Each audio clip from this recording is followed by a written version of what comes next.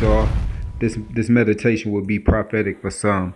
The devil may have been on your trail for a while, but as long as you stay within the speed of God, the serpent will never catch up. And sooner or later, it'll go back to the dark place where it belongs. What the devil has meant for your demise, the Lord meant for your good. He only allowed it to happen to show his power, to reveal to your enemy that messing with God's cause is the wrong thing to do. Think about the stone the builders rejected. We all read how that turned out. You're God's precious stone, and he will repay those who did you wrong. Amen. I pray that this word blesses some.